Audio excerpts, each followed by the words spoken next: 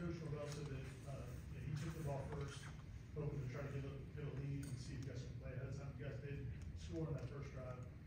What, what happened after that drive? Like, why do you think the offense did that down?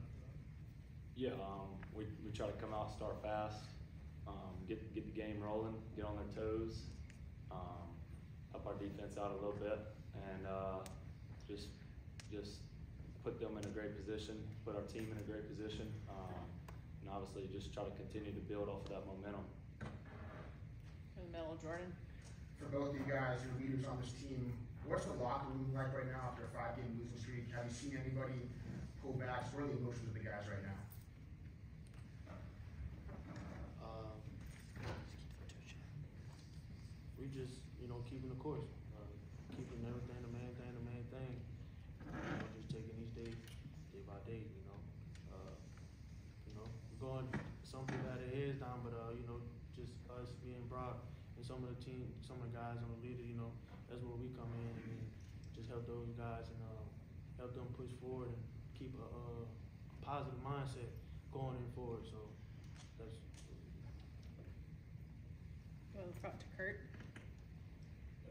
Ron, Co- Coach Norvell's talked the last few weeks about, you know, how, how supportive you, you and Luke have been of each other as you kind of been, been going back and forth, I guess. What, what is your relationship like and, and are there, are there benefits to how, how that's kind of gone of, of the back and forth, maybe riding the hot hand a bit and just getting opportunity to see who, who can kind of create things offensively? Yeah, we have a great relationship. Um, we hang out outside of football all the time. Super close. Um, he's a great guy. Um, we, we, we truly enjoy being around each other. We enjoy being supportive of each other. Um, obviously, we both, we're, we're team players. We want what's best for the team. So if it's me, he wants the best. If it's him, I want the best. I want the best for the whole collective team. And then whatever that we can do to put ourselves in a position to help the team is ultimately what we both want. Gonna go to Corey. Kai, you kind of had a unique career in that you, you started off your career with Mike Norvell, and you know, started out, I think, three and ten or whatever it was, including that crazy loss in September of the twenty twenty-one season, then he turned it around to where y'all were last year. I know this is your last year, but how much confidence do you have in Coach Norvell to be able to turn this thing back around again and do this again? Uh, I unbelievable confidence in uh, Coach Norvell. You know, um, I, you know, I've been here five years, and um, I've seen it uh, from the start to to the end. Uh, I see that Coach Norvell, he just keeps the same mindset. And I see that. Uh, I see that he, he has the the the power to do whatever he needs to do, and um, I see that he, he just gonna keep doing whatever he needs to do. That those other seasons, those three, three and ten seasons, uh, that was just not, that was just, you know, uh, just like a, a wake up call for us. My co- coach Norvell took it and uh, he just told us just keep moving, keep on. Ira.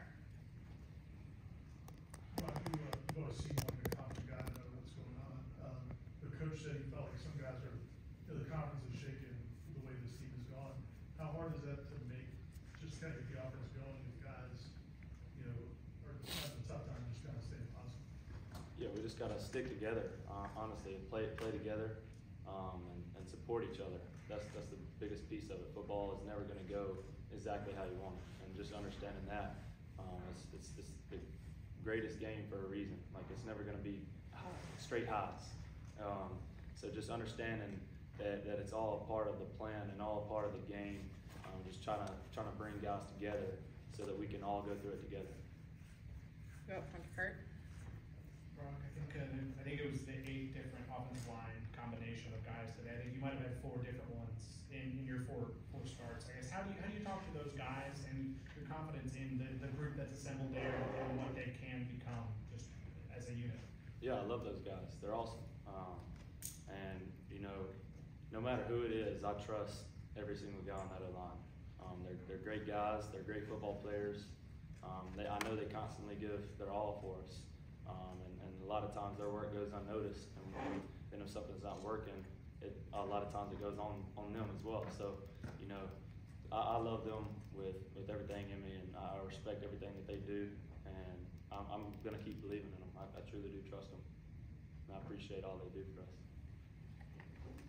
Anything else?